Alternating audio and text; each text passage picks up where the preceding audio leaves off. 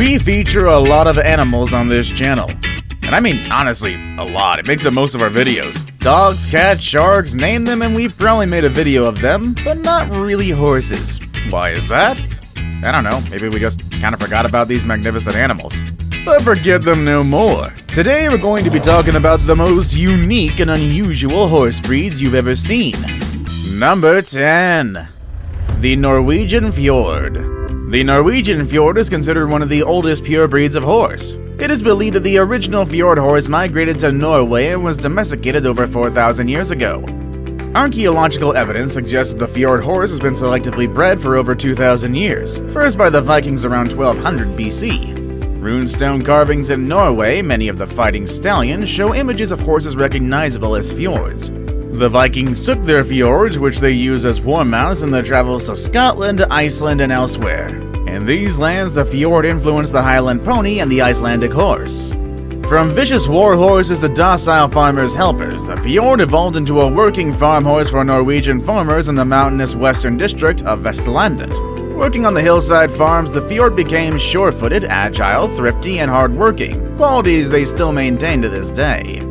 The outside hairs are cream colored with an inner streak of dark brown or black. The mane naturally grows long, but owners often cut it short so that it stands on end and emphasizes the two tone coloration. It's also an undersized working horse with the strength and musculature, but not the tall stature of other draft horses. Number 9. The Exmoor Pony. The Exmoor pony is Britain's oldest breed of native pony. They had adapted to survive on low quality moorland grazing and can make good all around family ponies, capable of carrying adults, but some have been known for having quirky temperaments. Exmoor ponies are fast learners and they enjoy working. They're also considered kind, even tempered, smart, and alert animals that get along well with everyone, including children and adults.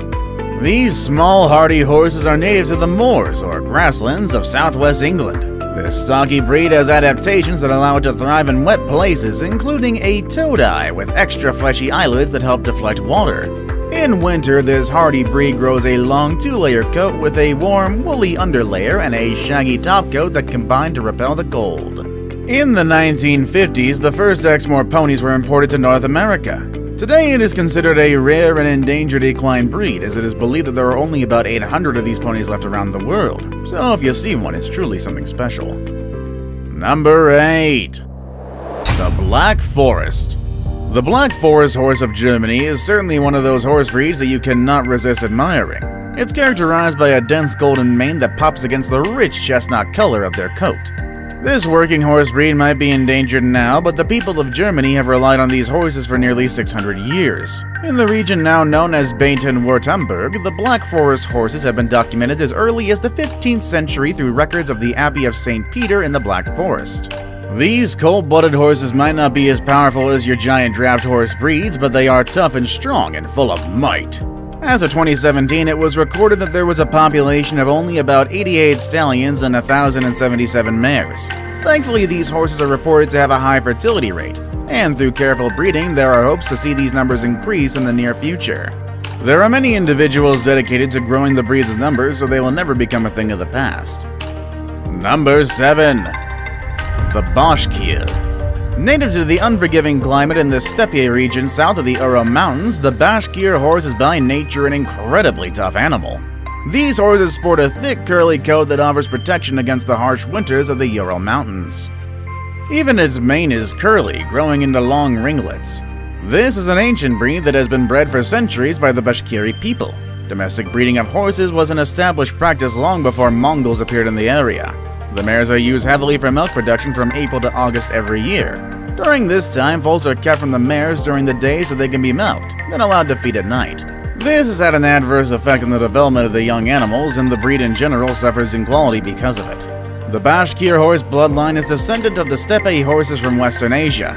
The effect of their specific climate created characteristics which differ from other breeds that share the same ancestors, as evidenced by their heavier build and their curly locks. Number 6. The Camargue.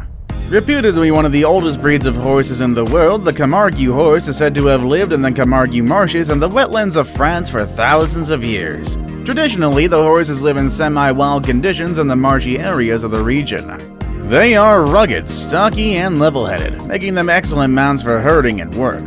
The Camargue horse is the traditional mount of the Camargue cowboys, who herd the black Camargue bulls used in bullfighting in southern France. The breed has long-standing historical ties to the community, where families have worked with the Camargue horse for generations. The horse culture is very distinctive in this area, and guardians will congregate at events and exhibitions to showcase their horses' bloodlines and abilities for herding.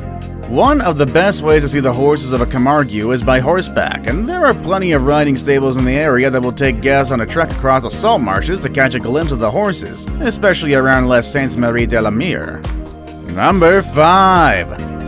The Gypsy Vanner this colorful and extraordinary breed of horse dates back to the eccentric gypsy travelers in England. These sturdy caravan horses were not only flashy horses, but were also part of the art from that the gypsy travelers displayed.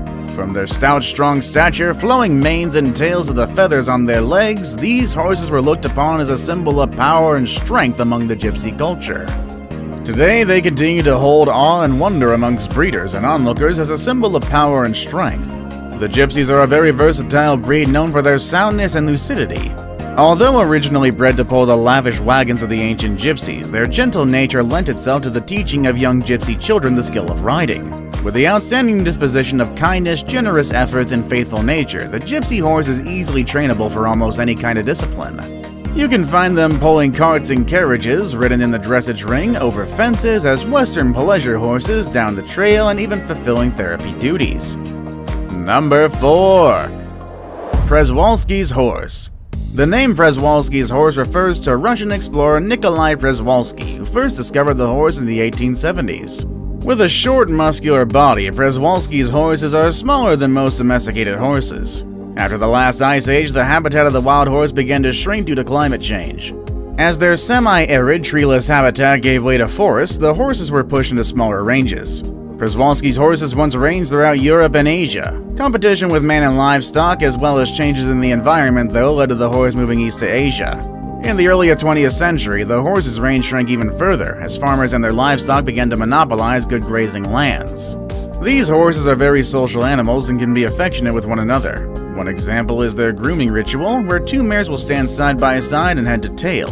One mare begins by working her way down the back of her partner, nibbling along the back and then to the hind legs. They may pair with a regular grooming partner or really any available nibbler. This activity not only keeps the horses clean, but reinforces their social bond.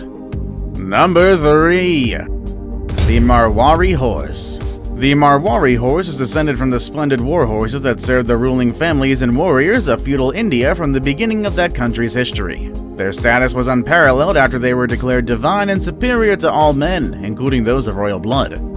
Only the Rajput families and the Kshatriyas, both warrior castes, were permitted to mount these exquisite animals. The Marwari horse was the most potent symbol of the warrior kings and somehow survived wholesale slaughter through ignorance during the troubled years preceding the independence and for several decades later. The responsive nature of the Marwari horse makes it an excellent creature to be ridden. They are considered to be very noble and intelligent horses, as well as being able to be trained very easily. The horse has survived on little food in the extreme heat and dry climates of India, which has earned its reputation for its hardiness. Now it's time for today's best pick. Today's pick was submitted to us by a subscriber, and it's definitely the most jacked up horse that I've ever seen in my life. Honestly, it looks more like a bull than a horse. But like with everything awesome in this life, if it looks too good to be true, then it probably is. Yeah, sad to say, this hulking behemoth doesn't actually exist, but that's not saying there aren't hulks among horses. Find out more next with number two the Shire Horse. The magnificent and rare Shire Horse is best known for its height and strength, holding records for being the tallest horse in the world. These horses are absolutely massive with large hooves and feathering on their legs. But in spite of their imposing size, Shire horses are typically calm, docile, and eager to please. They can be good for horse lovers of any experience level, as long as the person is comfortable with such a large horse, of course. Shire horses are named for the British Shires where the breed was developed. It's widely believed that the British Great Horse, which was used in battle, is the ancestor of the Shire horse. Flemish horses with leg feathering also might have influenced the breed. The most outstanding characteristics of the Shire horse are its imposing height and extreme strength, traits documented both in record books and anecdotally. For example, in the 1920s, a pair of Shires reportedly pulled a load of more than 45 tons, though the exact weight could not be determined because it exceeded the scale's capacity. Before we move on, do me a favor. My analytics show that only about 15% of you watching are actually subscribed. Come on guys, what's up with that? Can you guys please hit the subscribe button? You guys watch my videos every day anyway, so you might as well subscribe and keep up to date with every video we put out. Number 1. The Falabella Pony. Falabella is one of the rarest and smallest horse breeds of the world under the miniature family. The horse's size is so small that it's not considered a pony, instead it's under the miniature horses label. The horses were developed by selective breeding through the decades and came at the present size. The Falabella horse is a beautiful pet horse well suited at home and can be used as a guide animal. The Falabellas, with generations of selective breeding, can survive in severe weather conditions, and sometimes even better than their taller counterparts. They're also characterized by their extremely long life. Evidently, the foals of this breed are very much small and stand around 12 to 22 inches during birth. The baby Falabella would attain adulthood by age 3, they're easily trainable and can be taught to drive as well as also being utilized as guide animals. The horse consistently passes on temperament, conformation, and size and is frequently used in Olympic sports like the dressage. Which horse breed would you like to take home with you? Let us know down below in the comments. Also be sure to check out the channel's other amazing content and stop horsing around. Yeah, I'll, I'll see myself out later, everybody.